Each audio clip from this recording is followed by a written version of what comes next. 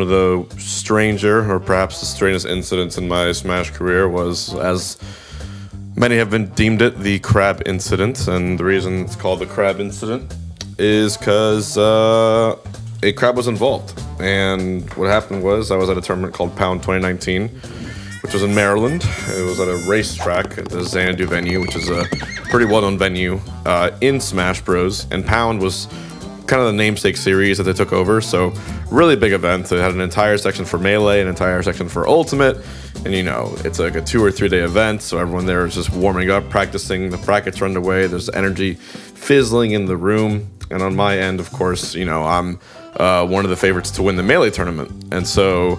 I believe I find myself in winners semis against uh, Mango.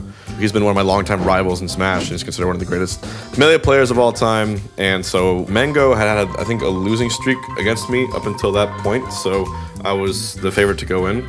So we start playing, and then all of a sudden we have a really back and forth set. I mean, Mango's coming at me with like really, really crazy rush downs, and he's finding these amazing openings, and the crowd is really on his side. And so I think it gets down to either game four or game five and uh, it's a close game and he ends up clutching it out and he upsets me. That was a pretty big hit to my mentality and my confidence. So, you know, I shake the hand and I walk through the crowd and I remember just let it leave the venue and I walk past the street connecting the venue to the outside and I walk under this underpass and I find this it's like a statue or some kind of just like a, a placard outside the venue and I just sit on it and I just sit there for 10, 15 minutes and just think and ruminate and think.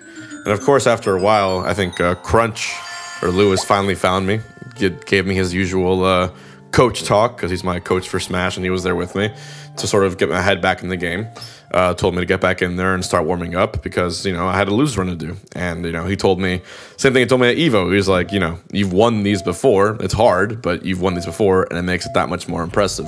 At that point, I was in losers quarters. So when you lose in the semifinals, you drop to quarters. It's a double elimination bracket. And in losers, my first opponent is S2J, who is a Falcon player.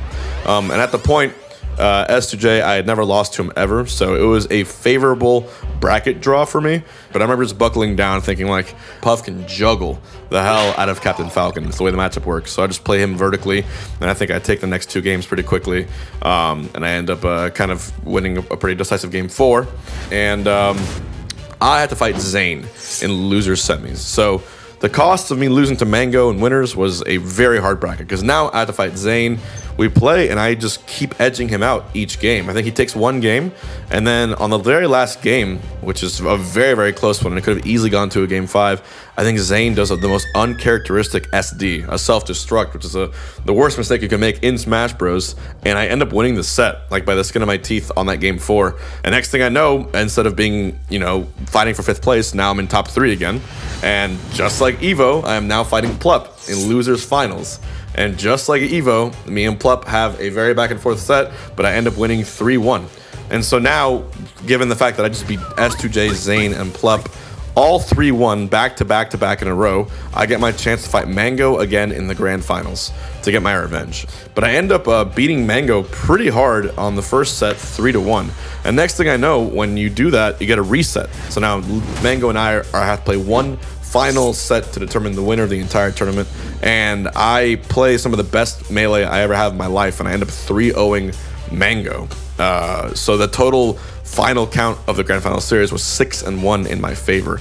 I mean, to do that losers run and then to finish grand finals like that is just it really took a lot of mental stamina and I really brought out some of my best play ever. But here's what happened. From the corner of my eye, I'm still sitting in my chair, just sweating and tired and relieved that I won a big long event. And from the corner of my eye, I see this red and white object sort of being flung at me from a distance.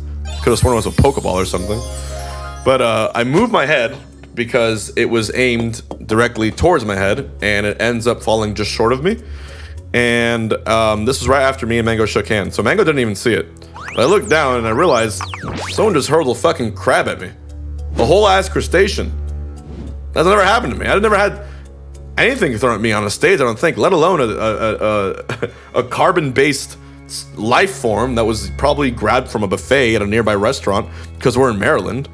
And at that point, after all that work I put in, after the entire losers run, after all of the just mental just focus that I needed to have and putting on the best performance of my life. For someone to do that was just downright BM. It was so disrespectful. So I just got pissed off. I grabbed the crab.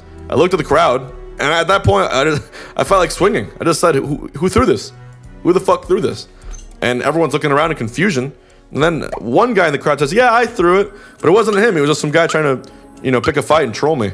And so I started just getting into this verbal altercation with him.